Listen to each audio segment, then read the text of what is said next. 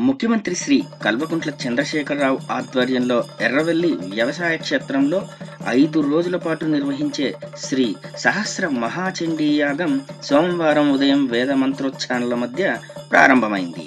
విశాఖ పీఠాధిపతి శ్రీ స్వరూపానందేంద్ర స్వామి పర్యవేక్షణలో జగద్గురు శృంగేరి పీఠాధిపతి భారతీ తీర్థస్వామి ఆశీస్సులతో ముఖ్యమంత్రి దంపతులు వివిధ రకాల పూజలు నిర్వహించారు.